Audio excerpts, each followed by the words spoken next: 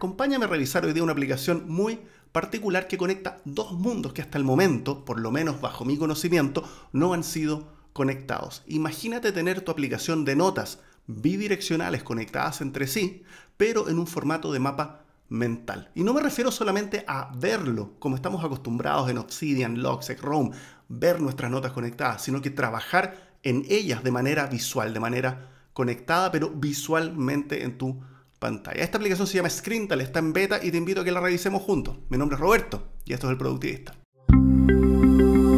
Y aquí estamos en screental.com donde vemos la página principal. Como siempre, revisemos la página y después te muestro cómo se ve por dentro la aplicación. Organiza y conecta todos tus pensamientos en un solo lugar. Y aquí mencionan dos aplicaciones. Me gusta a veces porque lo hace mucho más fácil de entender. Como si Miro y Obsidian hubiesen tenido un bebé. Vamos a ver qué tan cierto es eso. Aquí abajo tenemos, aparte del bla bla, ser más organizado, ser más creativo. Esto lo puede decir cualquier aplicación, por lo tanto no me voy a detener ahí. Tú puedes visitar esta página web. Y aquí está un poquito del preview de lo que vamos a ver. Primero, crear toma notas atómicas usando el método eh, Settencastle, algo que hemos revisado extensamente en este canal con distintas aplicaciones. Un modo foco también para las notas, pero aquí ya ves cómo se van organizando las notas de manera visual. Segundo, y esta es la gran gracia, conecta. Aquí es donde conectamos de manera visual las notas como si fuese un mapa mental. Esto no lo tienen las aplicaciones que hemos visto de notas tradicionales y sí lo tienen las aplicaciones de mapas mentales, pero dichas aplicaciones de mapas mentales no nos permiten trabajar los ítems como notas. Esa es la novedad aquí. Eh, y finalmente organiza esta manera conectando y haciendo zoom in, zoom out en un canvas gigante con otras personas, con todas las otras cosas que tú puedes esperar. Bueno, esa es la visión general. Vamos a ver ahora cómo se ve adentro. Y aquí estamos adentro de la aplicación. Esta aplicación está en beta. Puedes registrarte con tu correo ahí en la página eh, principal para que te avisen cuándo puedas tener ya acceso y te dan ciertos beneficios. Siempre es bueno, sobre todo si estás buscando aplicaciones nuevas, eh, el registrarte, ¿no? Así que aquí tengo dos tarjetas. Crear una tarjeta adicional es eh, bien fácil. Hago clic aquí, la pongo en cualquier lado y me crea la tarjeta. Todos estos paneles son eh, móviles, bien flexibles. y me sigo impresionando de que esto esté al finalmente funcionando en un navegador. En este caso estoy en Safari. Así que también doblemente bienvenido que funcione así en Safari. No siempre es el caso. Y puedo aquí ponerle eh, un título a la nota y escribir un texto. Ahora lo interesante es, vamos a poner texto, lo interesante nuevamente son los comandos, donde tenemos un listado de comandos, algo que popularizó eh, Notion en su minuto.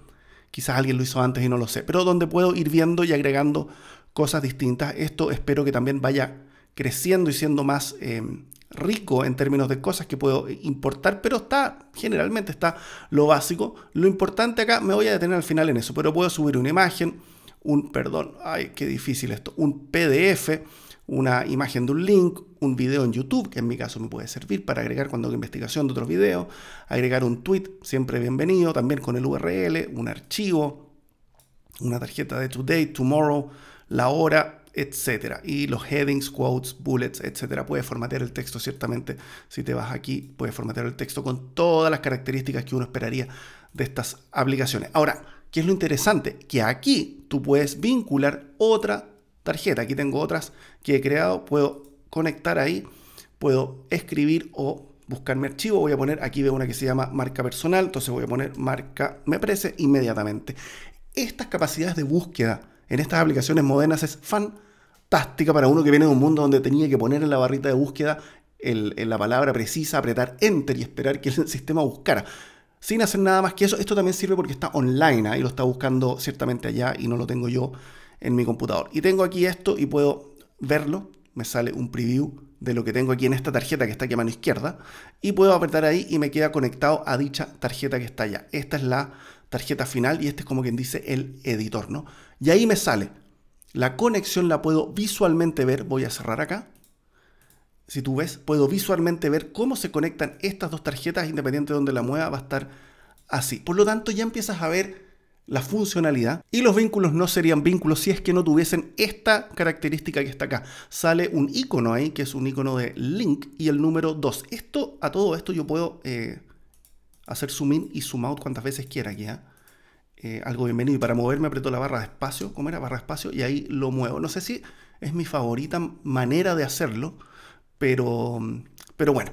lo que quiero mostrarte, aquí sale este icono de un link con número 2. ¿Qué significa? Que si yo hago clic en la nota, me salen aquí abajo los links que es decir, de dónde estoy vinculando dicha nota. En este caso lo puedo ver visualmente que la nota está siendo vinculada desde, eh, voy a apretar ahí, prueba 2 y me sale el vínculo que está desde acá y desde proyecto marca personal que me viene eh, hacia acá. Por lo tanto, puedes ver los vínculos bidireccionales en funcionamiento también en la nota misma, sobre todo si quieres ampliarla y trabajar la nota como cualquier otro editor de notas, ¿no? Y ver desde dónde viene la información que te está vinculando y te está trayendo a esta nota. Bueno, y como puedes imaginar, fácilmente te puedes ir llenando de tarjetas. Acá, por lo tanto, hay una funcionalidad que tú puedes seleccionarlas, apretar botón derecho y crear un nuevo board. Por lo tanto, esas dos que seleccionamos nos quedan aquí en, el tablero.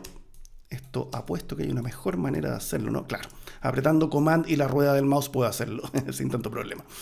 Eh, y aquí solamente tengo un espacio de trabajo con estas dos eh, tarjetas y puedo aquí seguir creando tarjetas, pero van a quedar solamente en este espacio de trabajo. Eso me gustó muchísimo porque permite lanzar ideas en tu escritorio y después tomar un par que estén conectadas y decir, sabes que estas pertenecen a un grupo en especial, voy a sacarlas, voy a crear como en este caso un tablero nuevo y voy a trabajarlas ahí en detalle. Si uno puede descubrir la manera de llevar un proyecto en base a este formato, a esta manera de trabajar, creo que aquí hay una dimensión adicional que todavía no hemos visto su potencialidad. Me lo imagino en un nivel muy básico en mi mente de empezar a conectar ciertamente todos los recursos con los que uno trabaja cuando hace un proyecto, sin duda, pero darle una mejor forma y darle no solo la forma y la visualidad, sino que también la practicidad, que sea útil o que sea más útil que las herramientas que yo hoy día utilizo, creo que es el gran desafío y para eso solo queda probar y jugar con la aplicación. Nuevamente, esto está en beta,